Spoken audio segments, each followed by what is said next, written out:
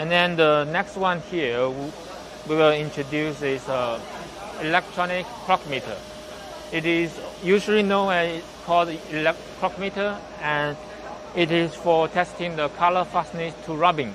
A lot of us might be familiar with this machine, but in our machine we also made a lot of innovation and we also have patent for this too.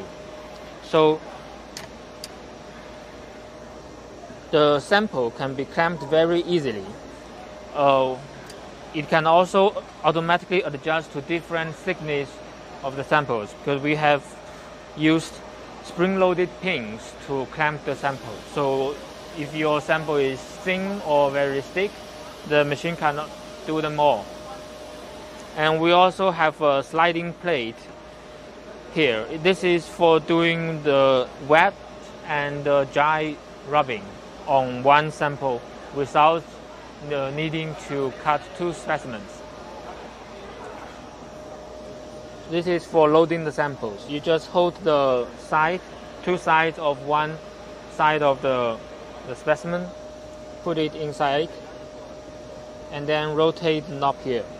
If your sample is elastic, you can also pull on the front side of the specimen to stretch it out or you if your sample is not elastic you can just rub it gently to flatten the sample and then this is our patented push to lock clamping system.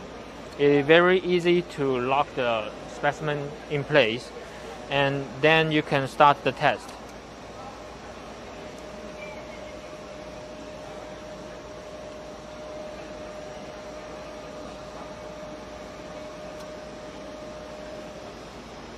It's very also very easy to unlock unlock the specimen.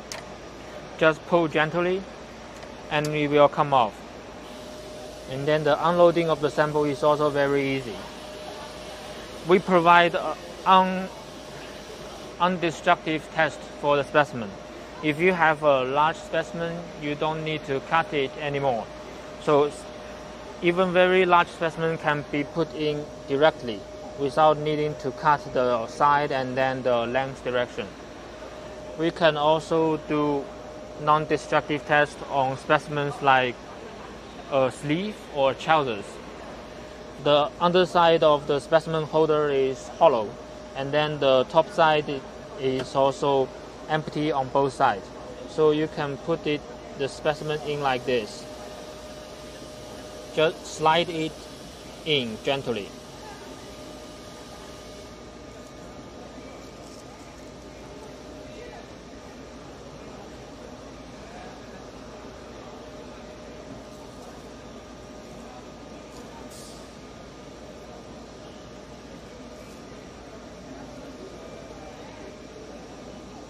You see, the this loop loop styled specimen can also be tested without needing to cut it open.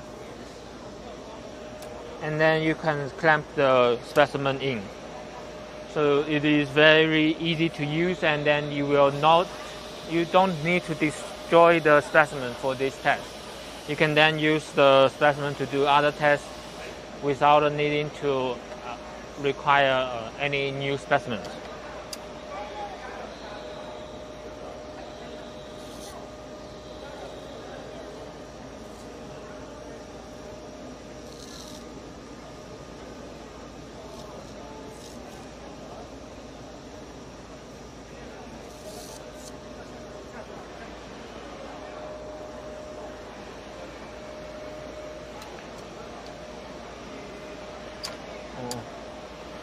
So for the change of the the white cloth here, you just lift the the handle up and then reach down to this spring. Squeeze it gently and then the cloth will come out. Then you just need to put on the new cloth. Say this is a new cloth.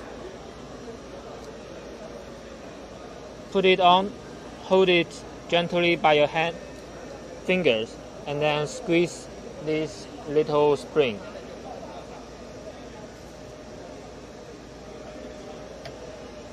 And now you have a new cloth on the test head.